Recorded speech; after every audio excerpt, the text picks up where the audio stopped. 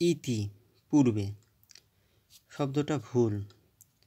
ইতি, তি যখন থাকবে এই শব্দগুলো আর ইতি থাকে না, এখন অন্যরকম হয়ে যায়। যেরকম ইতি পূর্বে এটা না হয় ইতোষ পূর্বে ইতি মধ্যে এটা না হয় ইতো মধ্যে আর্নিক।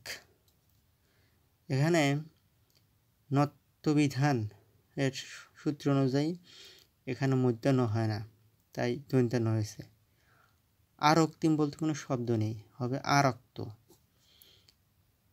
অপসরা। এটা হবে অপসরি, অর্থাৎ এটা মেয়েকে বোঝানো হচ্ছে।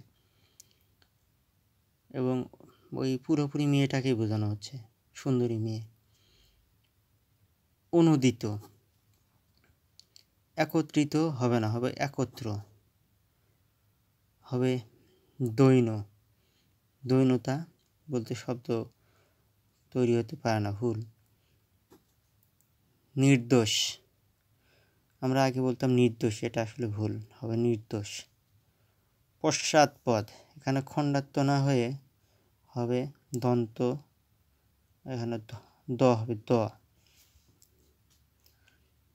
মাদকা শক্তি এখানে এই শক্তি অবশ্যই বলকে বোঝাচ্ছে না, এটা আসক্তিকে বোঝাচ্ছে।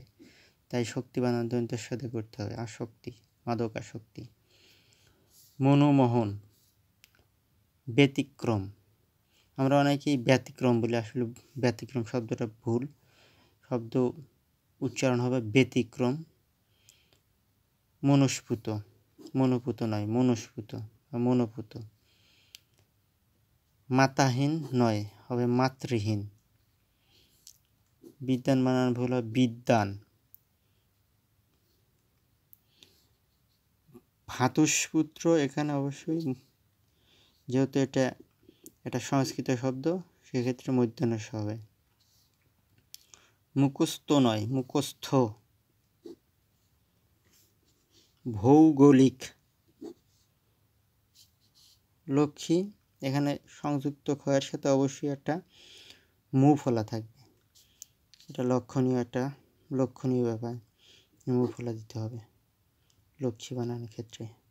এটা হিন্দিতে বলা হয় লক্ষ্মী। ইংলিশেও বানানো ওইভাবে লিখতে হয়। কিন্তু বাংলাতে আমরা নজর না দিলে পরে ভুলে যাবে।